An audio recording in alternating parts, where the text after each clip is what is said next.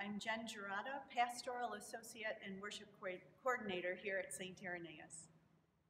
I hope that you've had a chance during our reflection series of Seek, Find, Give, and Change to gain some new understanding or ideas for yourself on your journey of discipleship with Jesus Christ. I want to ask you have you initiated a new practice or a habit to help you grow as a disciple? Get encouragement or ideas from others, and so I thought it might be helpful if I shared briefly some of the spiritual practice and habits on my journey. Where you are in life and your family situation has a lot to do with how much time you have and what you can do. So while I was working and my husband and I were young, we didn't have kids yet, I found that I could give a lot of time in service to my church. I was a lector, a Eucharistic minister, ended up being on some committees and doing some projects. Then, once we had children, I stayed at home. And my daytime was revolved around my children's activities. But I did find the opportunity, especially like during Lent, to um, attend a weekday mass or an adoration. Definitely went to mom's groups when I had the little ones.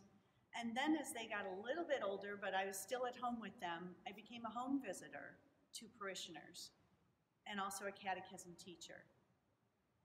Then, once I went back to work full time, work and family consumed my time. So I didn't have a lot of time for outside family activities.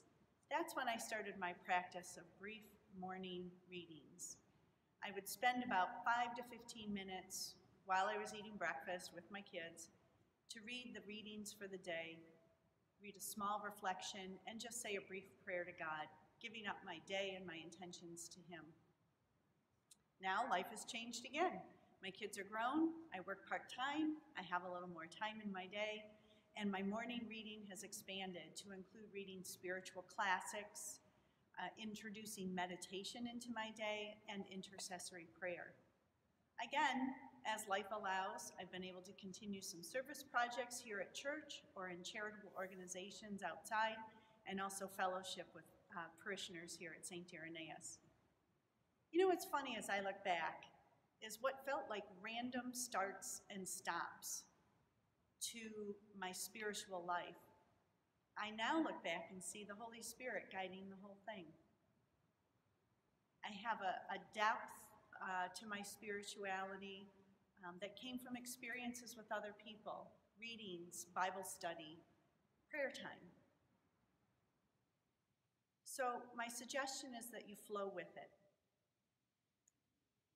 What am I going to try next? I have an idea. And so I'm looking forward to exploring that idea. What about you? What are you going to do next? Start, give something a try, and let's continue together on our spiritual journey as disciples of Christ. Peace be with you.